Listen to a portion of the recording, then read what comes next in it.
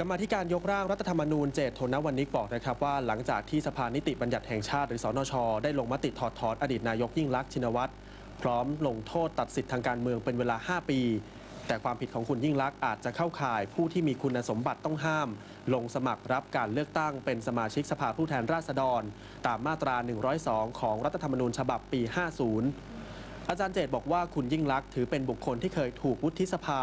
มีมติตามมาตรา 274 ให้ถอดถอนออกจากตำแหน่ง จึงเท่ากับว่าเป็นบุคคลที่ห้ามสมัครสสตลอดชีวิต และยังห้ามเป็นสวรัฐมนตรี และนายกรัฐมนตรีตลอดชีวิตด้วย เพราะเป็นบุคคลที่มีลักษณะต้องห้ามของการจะเป็นสวและรัฐมนตรี รวมถึงนายกรัฐมนตรี ในกรณีที่พิจารณาบนบทมาตรา 102 ของกฎหมายรัฐธรรมนูญฉบับปี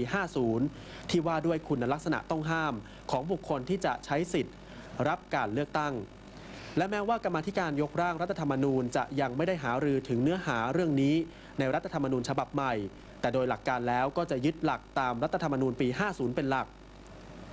ด้านกรรมธิการยกร่างรัฐธรรมนูญอเนกเหล่าธรรมทัศน์ในฐานะประธานคณะทำงาน พิจารณาแนวทางการสร้างความปรองดองบอกว่า